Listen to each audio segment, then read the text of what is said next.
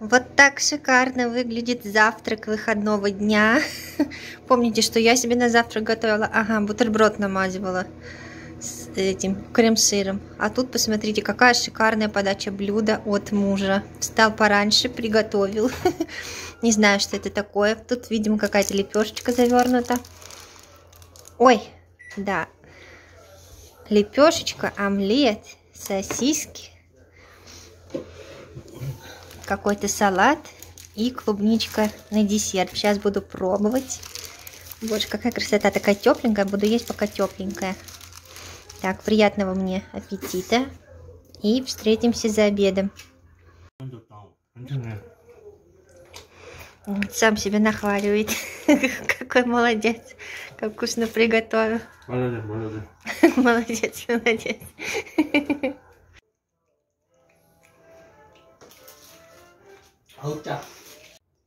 Так, с вами снова я. Кружилась как пчелка, перемыла весь дом, решила перекусить. Хотя завтрак был плотный, но все-таки что-то уже хочется. Заварила, значит, горяченького чая.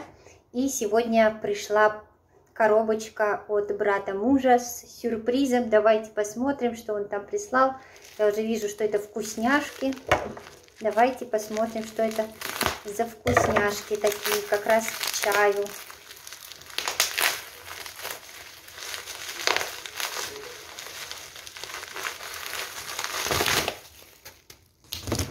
Ой, ну ничего себе, это русские вкусняшки.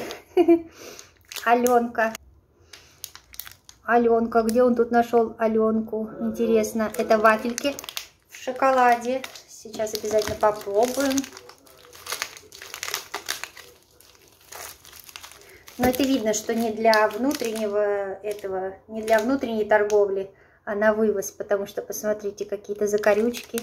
Если что, это не корейский язык, вдруг, если вы подумали, что это корейский. Это что-то такое арабское, да, если я не ошибаюсь. Вот.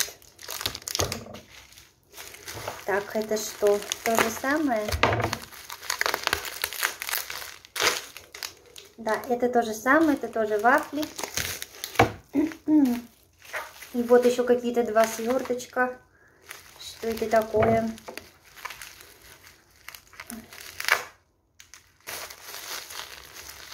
Какие-то маленькие, малюсенькие баночки, очень-очень много. М -м, это фруктовый конфитюрчик. Посмотрите, какая прелесть. Что-то камера не фокусируется, кажется, да? Фруктовый конфитюрчик. Клубничный, апельсиновый. Еще какой-то есть или только, только клубничный, апельсиновый. Тоже два таких Спасибо ему огромное, очень приятно. Напишу ему смс-ку благодарственную. Конфитюрчик мы не будем, а вот вафельку я с удовольствием съем. Надеюсь, вкус такой же, как у нас в России. Холодно сегодня, прям на улице, знаете, мороз. У нас произошла непредвиденная ситуация с утра.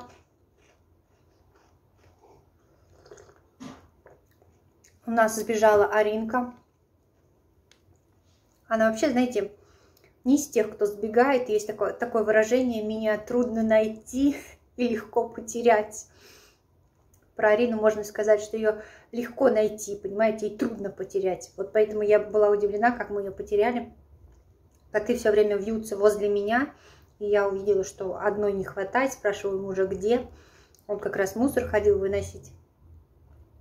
И он побежал на улицу проверять, где.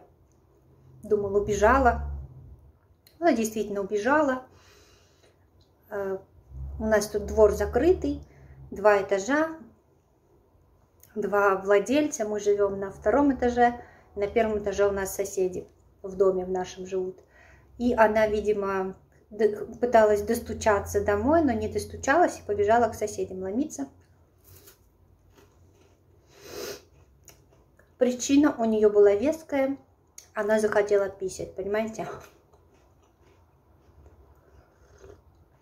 Вот это вот вшивая городская интеллигенция Другой бы уже, знаете, на клумбу, там, на соседскую сходил. Нет, она там ходит, соседские окна заглядывает, скулит. Мы ее, конечно, схватили быстрее домой, и она с порога сразу побежала на горшок, хотела писать, хотела, получается.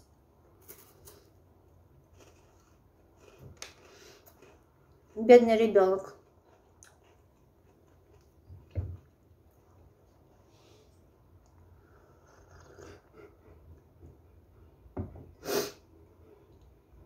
Вообще она не склонна к бегству. Ее даже, знаете, можно выставить за дверь.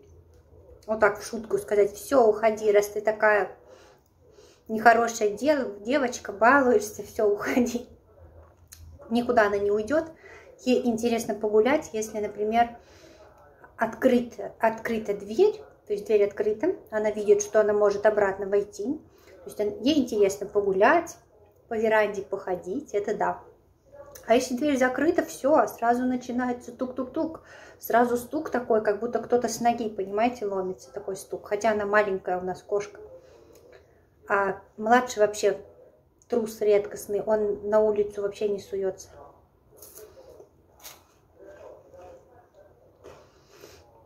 И боится посторонних людей. Вот Арина очень любит гостей, а он боится.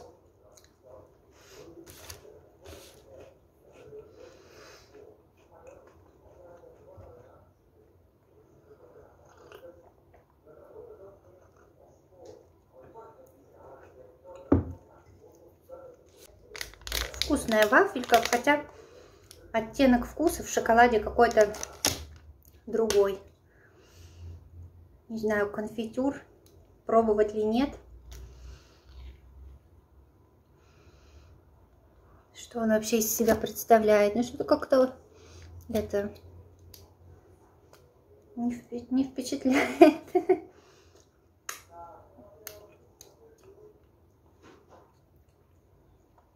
похож на варенье. На булочке буду мазать. Очень приятно. Еще нам сегодня пришла елка. Наверное, украшать будем позже, потому что коты все равно задергают эту бедную несчастную елку. Хоть немножко спокойно поживем без нее. Хотя, конечно, хочется для настроения. Если они уж совсем ее будут дергать нещадно, то мы ее на веранду отнесем либо в одной из комнат поставим. Комнат много, поэтому... Да, вот так вот. Ладно, до встречи за следующим приемом пищи. Пока, до связи. Так, это мой сегодняшний ужин. Котлета, ну, точнее отбивная свиная с сыром, салат и все-таки хлеб. Хотелось, знаете, без гарнира поесть, без вот этого вот лишних этих углеводов всего. Ну, все равно кусочек хлеба не смогла себе отказать. Вот, я вообще тоже готовилась ко сну, уже в пижаме. Собиралась пораньше сегодня лечь спать, потому что завтра мы едем в гости. Поэтому я в пижаме и в фартуке. Не хотела просто забрызгать этой, этой отбивнухой, в общем, свою пижаму. Сейчас поем и, наверное, спать. День был очень насыщенный. Мы прям ухайдокались сегодня с мужем. Что-то еду мою не видно. Меня видно, еду не видно.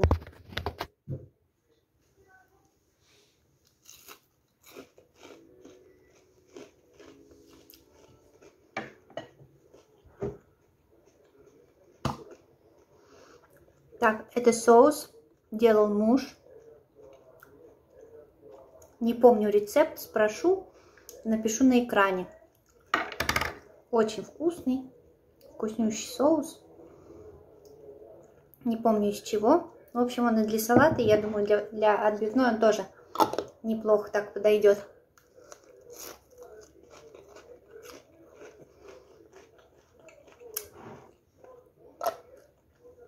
Да, вкусно.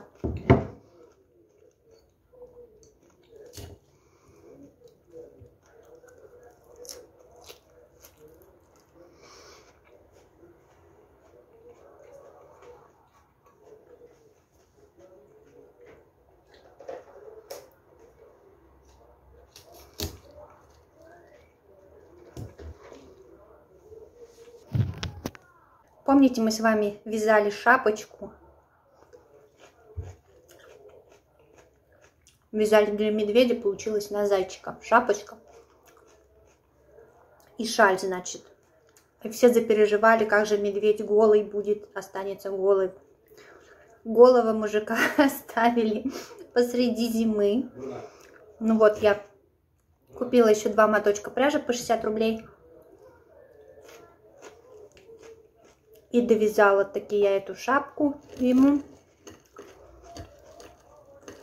И накидочку такую меховую ему сделала. Сейчас даем покажу. Вообще, что это за герой такие? Это персонажи мессенджера, достаточно популярного. Придуманы они южнокорейским, в общем, дизайнером, не дизайнером, но в общем, графическим дизайнером, наверное, так правильно сказать. Медведя зовут Браун, это его официальное имя. Зайку зовут Кони. Вот есть короткие сюжеты в интернете об их взаимоотношениях. И вот поскольку эта парочка напоминает, напоминала мужу нас, он решил их приобрести.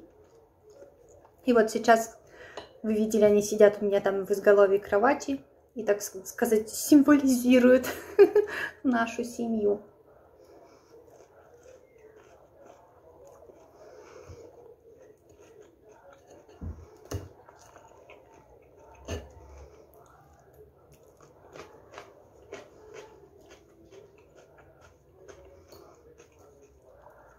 Так, завтра предстоит насыщенный день. Я засиделась дома, конечно, этой неделе. Так что выйти в люди. Это неплохая идея. Встречаемся с родственниками мужа, естественно, не с моими. С кем мне тут встречаться?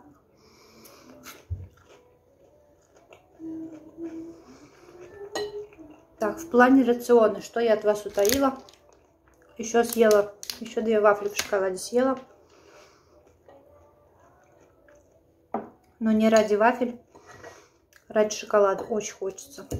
Прям почему-то тянет безумно на шоколад. Напишите, у кого-то так было во время беременности, что безумно тянет на шоколад.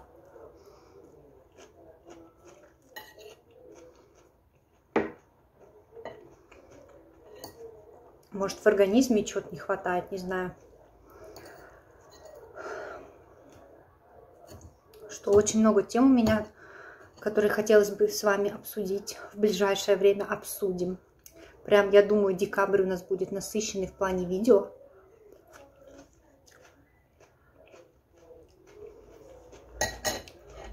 Так, сколько я болтаю? Ой, долго болтаю. Короче, не буду вас утомлять больше. Так, я все еще здесь, не получилось пойти спать. Вспомнила, что орехи, филешку надо сварить, а то она голодная бегает. Смотрите, я варю ну, куриное филе с луком и с морковкой. И потом она ест и филе, и бульон пьет, и морковку. Лук не знаю зачем, ей, ей нравится просто запах, как бы облагораживает запах куриный. Так, меня все ждут уже, уже все ждут меня возле кровати. Ждут, когда я лягу. Попозже, попозже ляжем. Так, ну что, смотрите. Вот такая вот получилась шапочка. Ну, для кони вы уже видели наряд. Показывала в прошлых видео.